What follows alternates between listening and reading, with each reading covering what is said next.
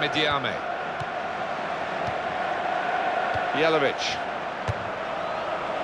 Going for power from long range, and what a shot! What a goal!